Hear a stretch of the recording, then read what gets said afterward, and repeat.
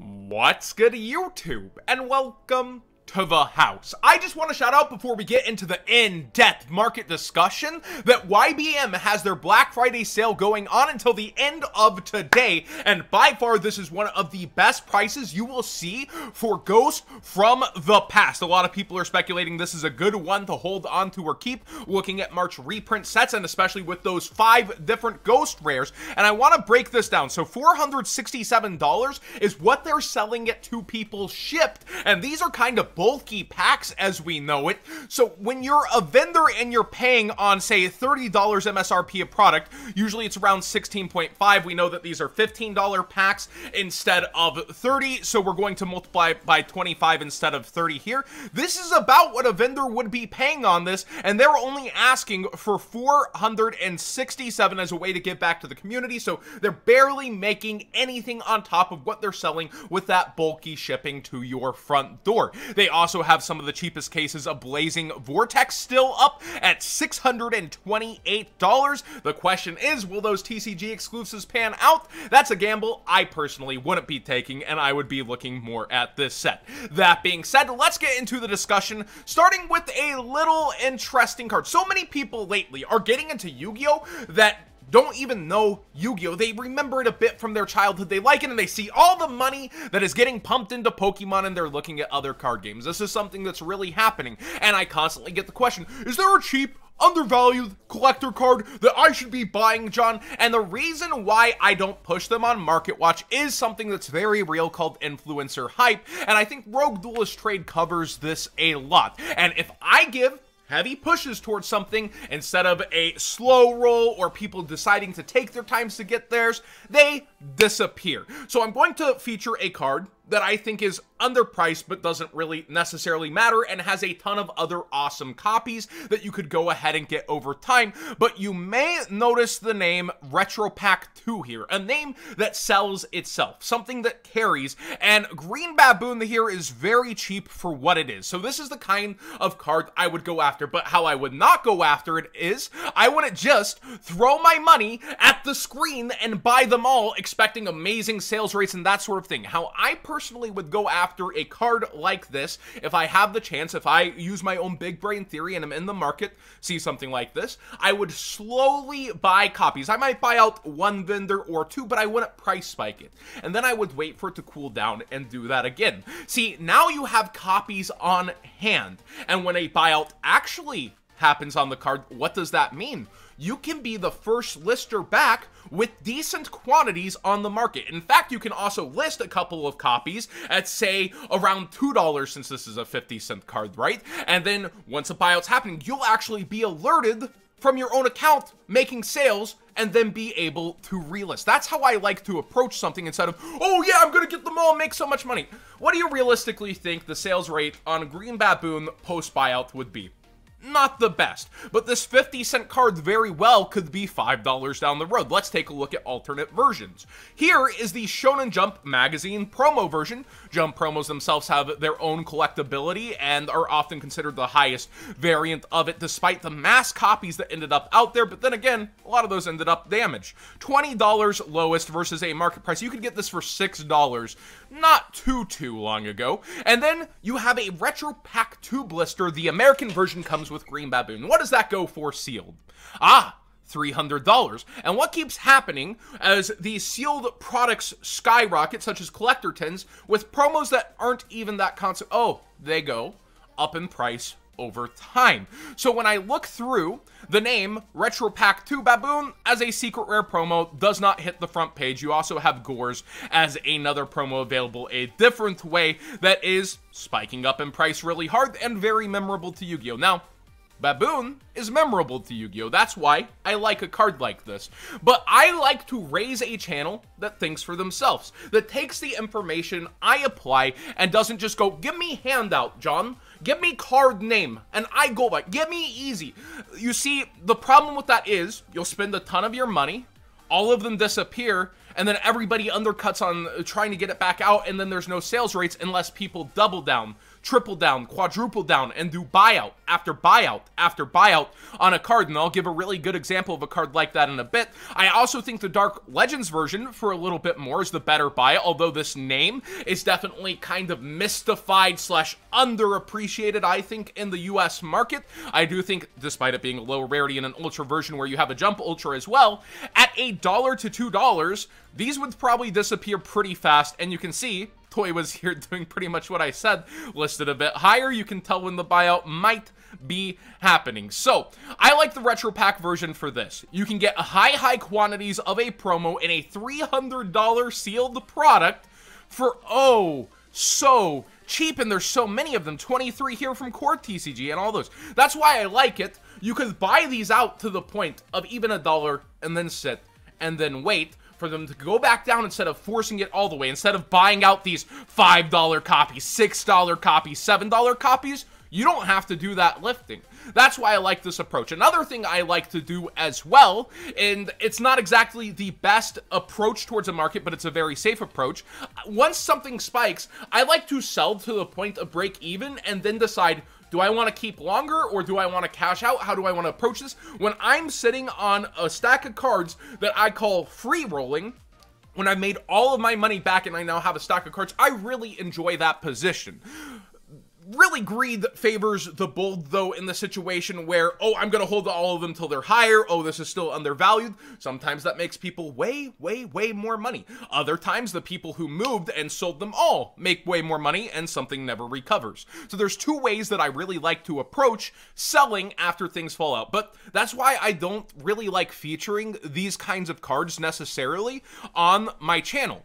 I do have a push and pull with my audience where trust is built. And if if I say something, this is good, here's why, and I present reasoning, and a ton of people agree with that, they'll disappear, and it will spike the market somewhat artificially, and then it will cool off, and a lot of people might be stuck with cards that don't get a good sales rate because it didn't happen at a natural progression or rate, or people triple and quadruple down into the card that people do make money, and then it goes to a ridiculous kind of fashion. I covered the Blue Eyes in an in-depth theory not too long ago for the Retro Pack. Check this out, on TCG Player, a normal market price of 53. That means it's making sales because a lot of people only know to look at TCG Player and don't consider looking at both as I have preached for years here on Market Watch. When we look over at eBay, wow, near mints at 26. What a steal. Well, people are really parting with their money around these prices. Then, then we see my sponsor, Yu-Gi-Oh! Black Market, not to blow up their spot after shouting them out at the beginning. They have this at $40. Well, uh, over on eBay, I see a couple of cheaper, very near mint. Ah, near mint, $8 for Italian. It still hasn't changed after all this time, except a bit of a double up, which is which is nice.